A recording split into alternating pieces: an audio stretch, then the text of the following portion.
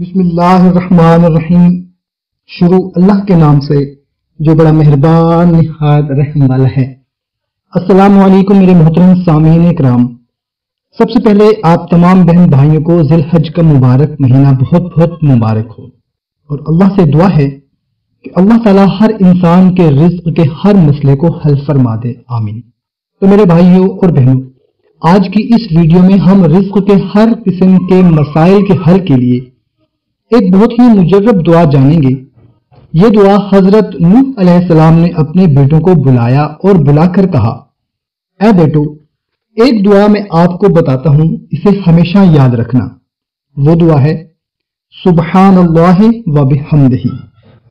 ऐ मेरे बेटो, इस कायनात में हर चीज़ को अगर रिस्क दिया जाता है तो इस दुआ की वजह से।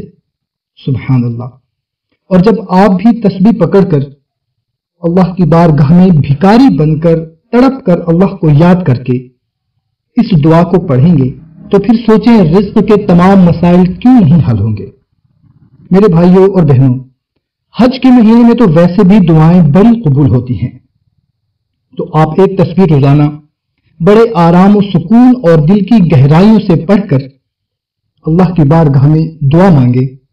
इंशा अल्लाह ताला, मेरा ईमान है कि अगर आप सिर्फ़ एक तस्वीर सुबह या शाम रोज़ाना करते रहे तो रिस्क का कोई मसला अल्लाह ताला कभी ना होगा।